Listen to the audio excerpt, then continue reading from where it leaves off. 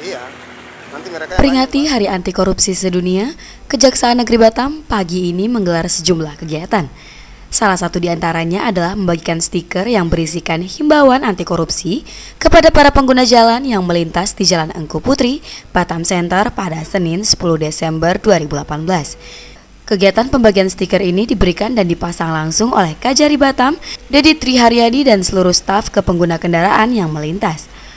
Menurut Kajari Batam, Pembagian stiker anti korupsi kepada para pengendara merupakan salah satu bentuk pesan moral kepada masyarakat umum untuk terus menggalakkan komitmen dalam melaksanakan pemberantasan korupsi. Kita akan bagi-bagikan stiker dan sebelumnya kita sudah adakan juga di sini uh, sosialisasi.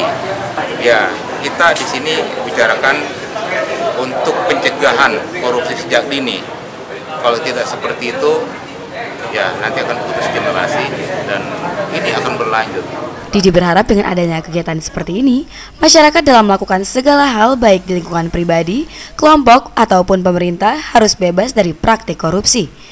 Selain Kajari, kegiatan pembagian stiker ini turut dimeriahkan oleh dua mantan personel grup band nasional Bumerang, Roy Cekonia dan John Paul Ivan, sehingga sempat menjadi perhatian para pengguna jalan.